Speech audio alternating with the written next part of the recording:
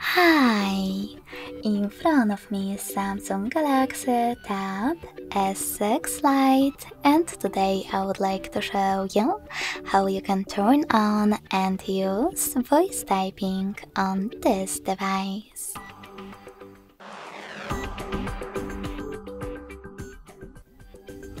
First of all, you need to access your keyboard.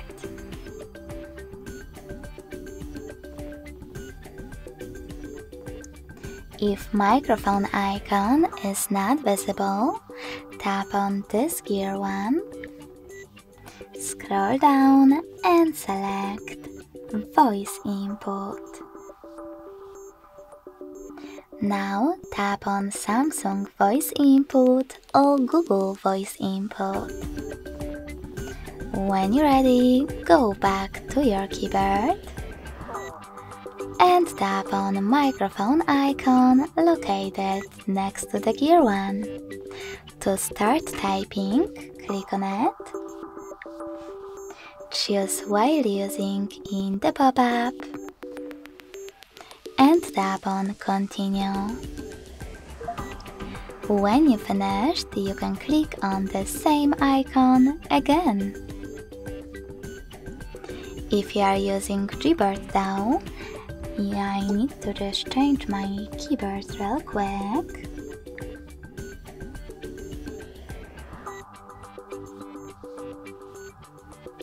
If you are using Gboard and microphone icon is not visible at the top right corner of it, select this gear next to GIF.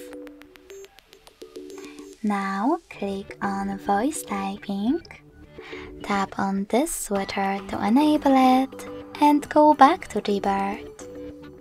To start typing, click on the microphone icon.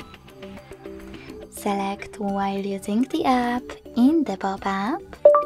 And when you're ready, click on the same one again or stop talking. Thanks so much for watching. If you enjoyed this video, smash that like button, comment, and subscribe. Bye!